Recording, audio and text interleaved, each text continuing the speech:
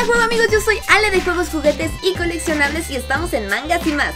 Hoy tengo un tomazo, señores, de señor Panini Manga. Aquí está. Número uno de Beastars.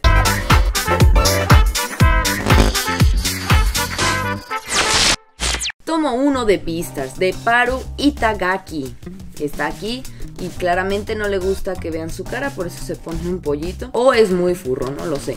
Esta es una historia que no es para niños, cabe mencionar. O sea, se ven animalitos preciosos, son furros, pero no es para niños. Tiene tema de droga, tiene tema de sexo, tiene tema de discriminación, tiene tema hasta político de organización de una sociedad conflictiva. Tienen animales antropomórficos, o sea, con forma de personas que hasta vestiditos están. Y no existe ningún humano dentro de este universo. Alpaca Chan, que se llama Ten, pero me gusta decirle Alpaca Chan, que es este de aquí, comienza corriendo por su vida porque básicamente pues lo persigue un carnívoro. Ahí nosotros no sabemos qué onda con la sociedad.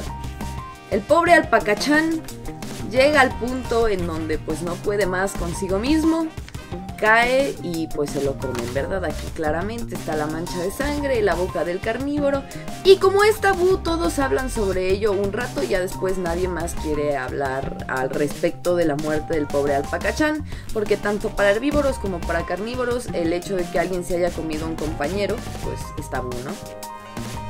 Esta sociedad es muy curiosa, todos viven juntos, viven tanto herbívoros como carnívoros juntos. Claramente en este mundo está prohibido comer carne y los pobres carnívoros tienen que apañárselas con sustitutos como bolsitas de soya, huevos, leche y bueno, básicamente así viven todos en paz, teóricamente. Aquí por ejemplo tenemos la recreación en chiquito de la sociedad de este mundo, que es la Academia Cherriton. Las escuelas, en especial aquellas que tienen dormitorios, son como una simulación pequeña de la sociedad en la que vives.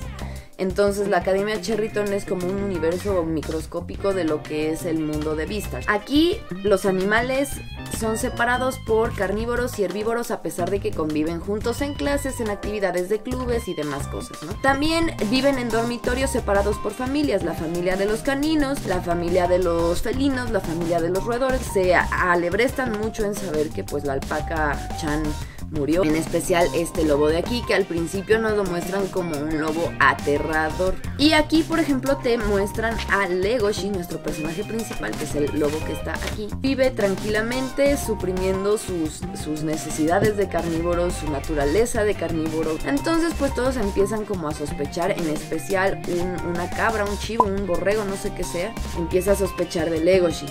Legoshi va con esta cosa, este chivo, esta vaca, lo que sea, porque Tem quería darle una carta de amor.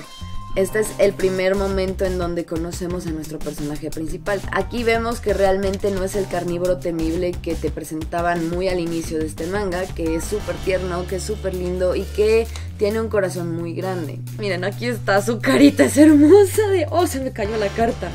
Y la pobrecita, el pobre chivo estaba muriendo de miedo, pues es que también pobre, ¿no?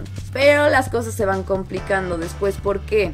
Haru la coneja va a ser muy importante en esta historia. ¿Por qué? Porque Haru despierta los sentimientos, digamos, la naturaleza carnívora y cazadora de Legoshi, que es un lobo, claramente un lobo caza un conejo y se lo come, ¿verdad? Pero en esta historia no es posible. También más adelante va a aparecer Luis Senpai, que es este penado de aquí, que es el popular de la escuela y es el nuevo candidato a Vista, que es justamente el título de, de este de este manga. Vistar es aquel animal que pone el equilibrio entre herbívoros y carnívoros y hace que pues haya una armonía entre ellos. Teóricamente Luis Senpai es el que puede lograr esto. Yo no estoy tan segura, tiene un carácter bastante complicado. Dato curioso, nace el 29 de marzo, yo nazco dos días antes, entonces yo sé de lo que estoy hablando, tiene un carácter complicado, casi compartimos cumpleaños. Pero se vuelve muy amigo de Legoshi y juntos van a sortear muchísimas dificultades que le vienen más adelante. Pero el tomo 1 aquí presente termina justamente en un momento muy divertido cuando pues después del incidente que tiene Legoshi con la coneja que claramente no se la come pero sí sí tiene como ese shock de decir es la primera vez que me siento carnívoro y que siento incapacidad de decir para en este momento o, lo vas a matar al pobre animal que tienes ahí entre tus, tus garras y ¿Ustedes se imaginarían que un pobre lobo huyera de un conejo, bueno, de una coneja? En el segundo tomo lo pueden descubrir porque en, el anime sucede, pero en el, manga es, es, todavía más divertida esta escena, de verdad, se los aseguro. La ilustración es muy distinta a lo que estamos acostumbrados en cuestión de leer un manga per se.